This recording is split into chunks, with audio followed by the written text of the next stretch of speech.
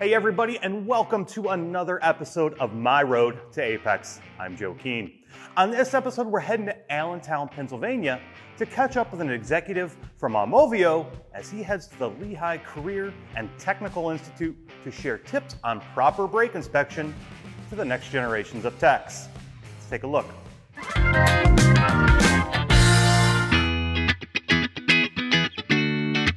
I'm Stefan Feder, Head of Automotive Aftermarket at Aumovio. Welcome to Aumovio.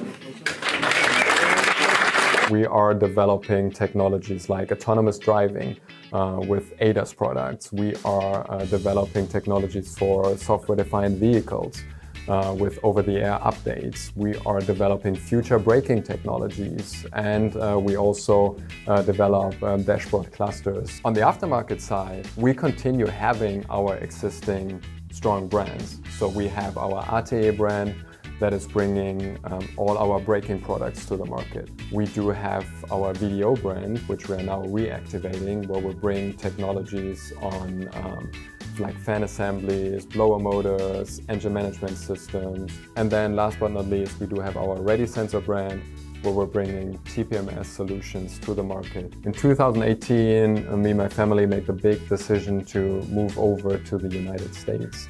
Uh, where I um, continue to be at ContiTech and on sales and in aftermarket. And then in 2024, I moved over to the automotive side of Continental that is now becoming a uh, and I became the head of aftermarket for North America.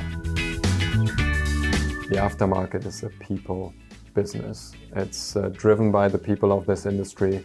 You see that high collaboration uh, between suppliers or manufacturers, uh, WDs, and uh, installers.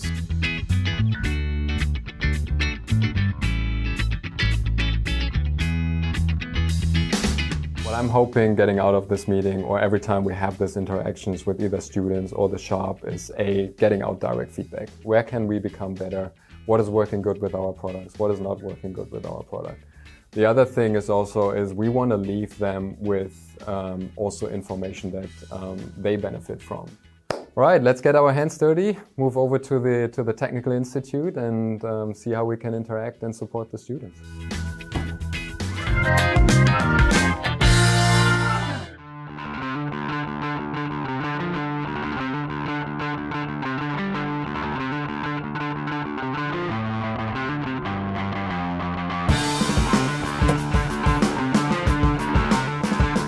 John, good seeing you. Nice to see you. Welcome to LCTI. Yeah, thanks for having us.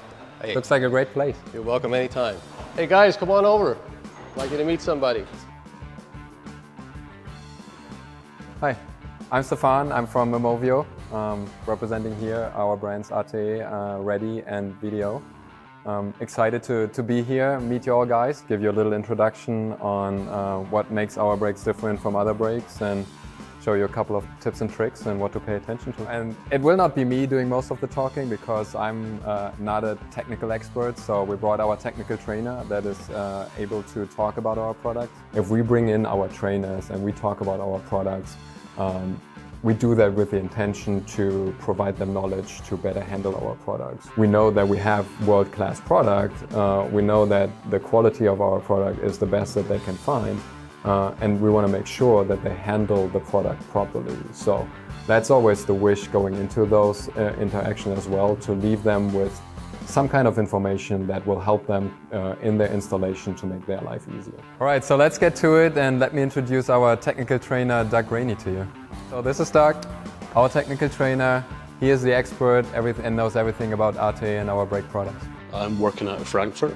Uh, and I've come over here today to show you guys a little bit about how we recommend changing the brakes on these passenger cars. Okay, let's get to it.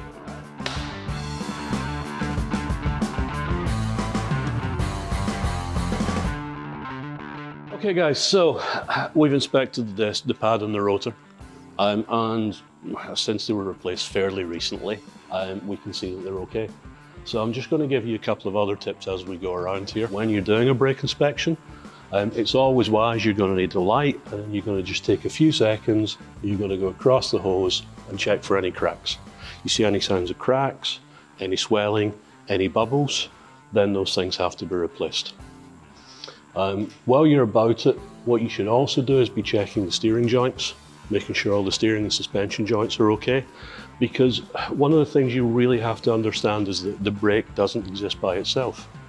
The brake exists together with the suspension, the steering, the tyres, and all of these things have to work together to give you a safe braking. So a brake inspection is not just a brake inspection. A brake inspection is also a steering inspection. It's a suspension inspection, it's a tyre inspection. Any of those things aren't right, they also have to be repaired at the same time. And I'm going to talk to you about something that you can't see. Because when this replacement was done, um, we're going to take it apart. So you would dismantle all this, you take off the old parts and you would give it a good clean. We want rid of all of this nasty old brake dust. This isn't good for us. But when you put it back together, you've got moving parts in there because this is, this is obviously a little bit bigger, doesn't not going to fit in there, but these brake pads here have to move backwards and forwards freely. When you press the brake, they compress. They compress and they clamp the brake disc. When you release the brake, they have to come back again. Now, over time, the build-up of dust, the build-up of water and salt from the roads, um, is going to make that a little bit harder and make this a little bit tighter. So what you have to do is you have to use a little bit of lubricating paste at the contact points. We have to be using, even the lubricants we use have to be the, the correct lubricants for the job. Um, what I've got in my hand here is um, ATE brake paste, we call this Plastilube. And it's a specially designed lubricant for these contact points. Um, it does the job, so it can, it's designed to work under this harsh environment um, and last for the life of the brake pad and the rotor so that it'll always keep those contact points lubricated nice and easily until the next pad and rotor change.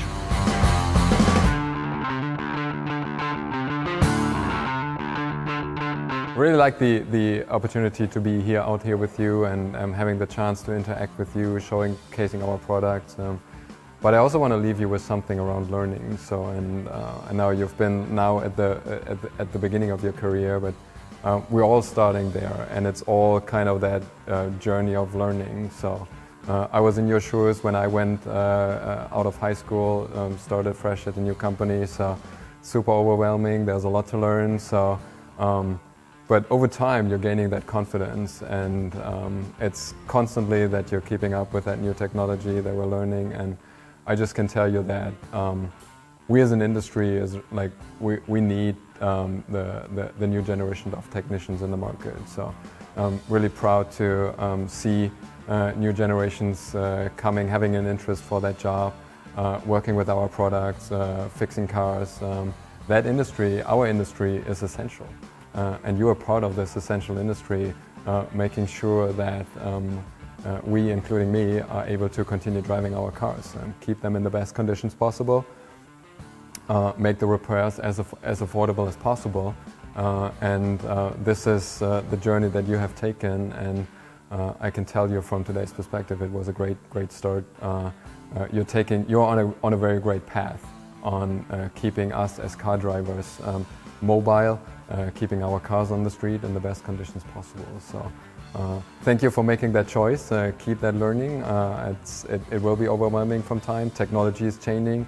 Um, I'm sure that's uh, overwhelming. The cars uh, is uh, getting more and more complex. So keep up with that technology change. Um, and um, yeah, thanks for thanks for taking this path.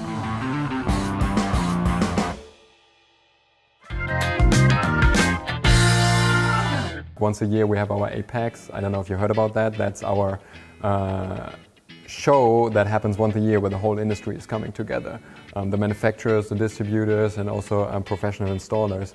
And in that show, you can really feel that vibe um, of us being a servant, service-driven industry that is really there to help people. So, if you ever had the chance, uh, or if you ever have the chance to um, go to AAPEX. I really want to encourage you to go there. It's so like you can feel the vibe of our industry, of being a people-driven industry, of being an, an industry that is helping people.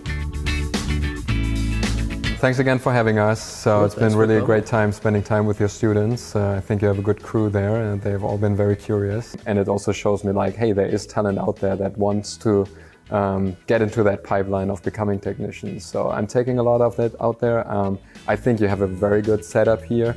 Um, great uh, equipment, a great environment for the students to um, to learn and to, to start their career in the in the automotive aftermarket.